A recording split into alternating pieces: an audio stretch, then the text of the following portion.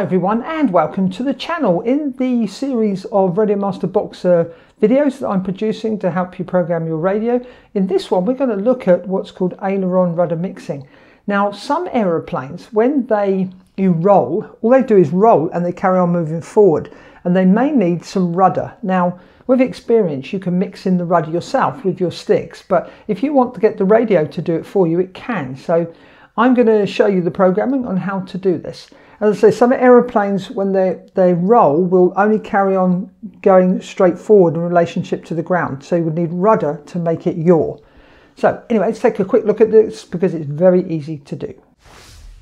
Okay, if you watch carefully, I've got two servos controlling the uh, ailerons and you can see them both moving there. But you can also, there's my rudder, you can see my rudder. Now I've exaggerated this amount of throw. You'll have to um, experiment with this to see how much uh, weight you must you need to put on to get this to, to have the effect that you want.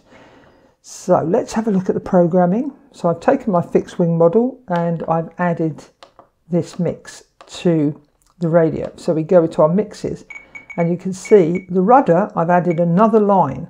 So all you needed to do is push enter and then say insert after. I'm going to come back out because I don't need to do that and it would have put a line in for you. And then all on you need to do on the line is to put the source as the input aileron. The weight, as, you, as I said earlier, I've used 50% on this. It will probably be less than that. I think one of my planes I used about 15. I think 15, 20%. So pick up the percentage, as say, let's adjust it so you can see this in operation. Let's put it up to 70 and that will be all you need to do. That's all we need to do is add that to the mixes. So if we go back to here, and you can see now that it's exaggerated even more. You can see the rudder is moving with the ailerons.